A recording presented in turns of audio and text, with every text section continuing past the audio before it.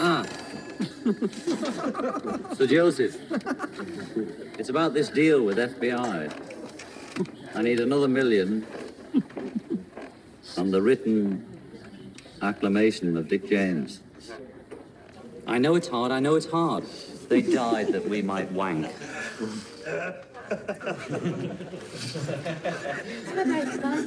I'm talking about the Boy Scouts who aren't allowed to masturbate. Oh, It's very tempting when you're wearing shorts. if they only wore long trousers, maybe they'd stand a chance, you know. But I can tell you, you don't go blind, but very